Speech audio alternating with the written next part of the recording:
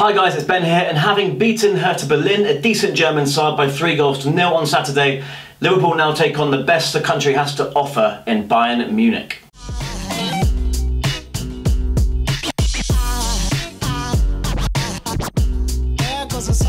So Liverpool's very impressive pre-season continued on Saturday with a great win over Hertha Berlin, three goals from Solanke, Wijnaldum and Salah, the last of which I think had us all purring and looking forward to Coutinho and Salah playing together this season, if that is indeed the case. But it gets even tougher from now on. Bayern Munich are the opponents on Tuesday in the Audi Cup, the tournament that takes place every couple of years. Atletico Madrid and Napoli join us in the competition. This is of course familiar territory for Jurgen Klopp, Liverpool's manager, who won the Bundesliga title twice ahead of Bayern Munich, so he knows all about this fans, this club, everything about Bayern Munich. And I think he's as excited as we are to see how the Reds fare against one of Europe's real elite teams. Klopp was actually the last man to stop Bayern Munich winning the league back in 2012. And Klopp has confirmed that he will play two separate teams in each game, so on Tuesday against Bayern Munich it'll be 1-11 with of course some subs, and then on Wednesday, whether it be the third place playoff or the final, it probably will be a completely different side to what we see on Tuesday. How similar the 11 is to the one we saw start against Berlin on Saturday, I'm not sure, we'll get into that in a minute. We haven't actually played against Bayern Munich for 16 years, which is crazy when you consider how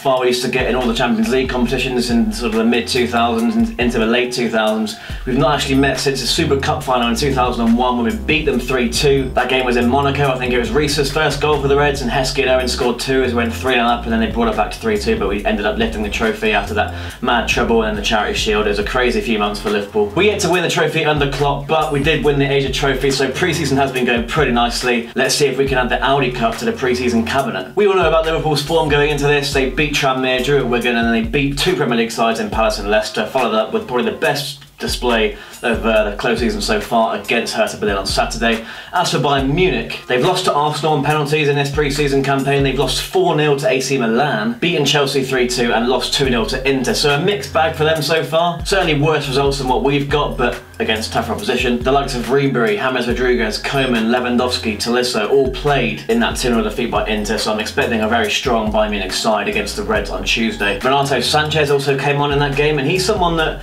Sport Bild have linked with Liverpool. He's not quite broken into the Bayern Munich first team since his move from Benfica last summer. Liverpool's move for Keita looks to be a bit dead, so could he be someone that Klopp looks at during this game as a potential new signing? Sport Bild aren't particularly reliable, so I'm not reading too much into that one, but a lot of people in the comments on here, and even I have said that he might be someone to look at if we are desperate for an energetic box-to-box midfielder. So expect a strong side from Carlo Ancelotti's men. As for Liverpool, Loris Karius will be back after missing out on the weekend. Dejan Lovren will also be available and we might see some of Trent Alexander-Arnold, Ben Woodburn and Marko Grujic who played no part of the weekend. Meanwhile, Joe Gomez has picked up a knock, so a bit of tough luck for him. Still no Nathaniel Clyne, nor Danny Ward and Divock Origi will also be missing with a muscle strain. James Milner should also be back, he's returned to full training. I don't think Danny Ings is going to feature. So let's get into a predicted 11. I think this is going to be as close to the strongest 11 as we're going to see in pre-season. I think this is where Klopp's really going to try and figure out what sort of team he's going to put out against Watford.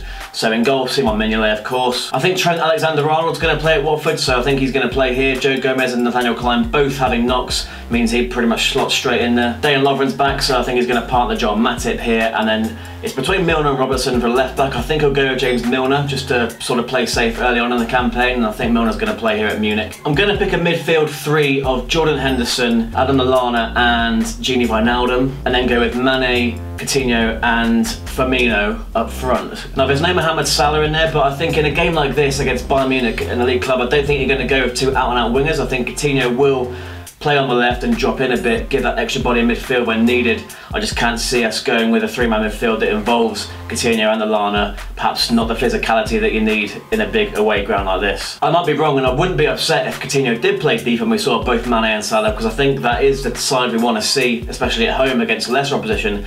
Whether we can pull that off against the likes of Bayern Munich, I'm not sure.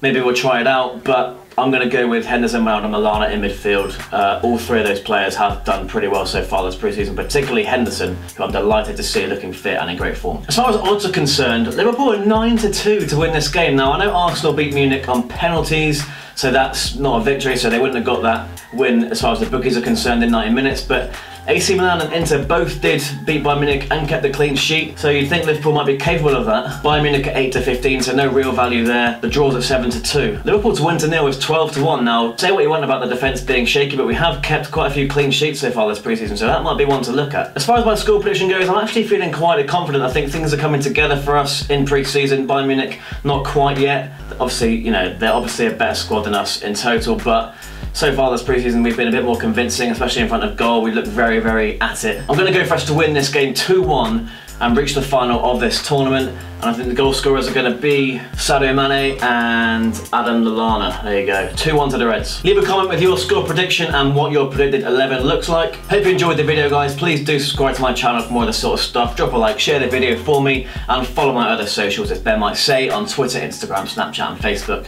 And I'll see you next time.